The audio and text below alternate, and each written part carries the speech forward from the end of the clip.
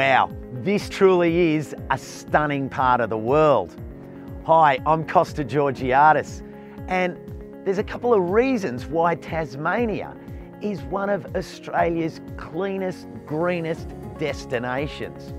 First of all, it's isolated, you're an island, but you've also been really proactive when it comes to dealing with your waste and your rubbish. Did you know that from about 30 years ago, Tasmania's councils started a very successful curbside recycling program?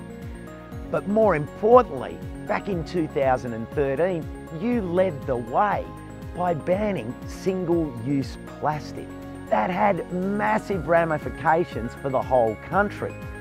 But like anything, there's always another step. We can always improve.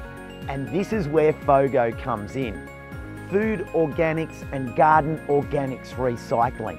It's a chance for each and every one of us to make a difference every day. When we get the food scraps out of our bin, we can then separate, isolate and recycle those other resources so that they don't become just another piece of landfill.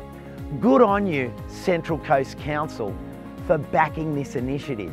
It's the next step it's an opportunity to say, hey, we love this place. Let's keep it like this, improve it and regenerate it for generations to come.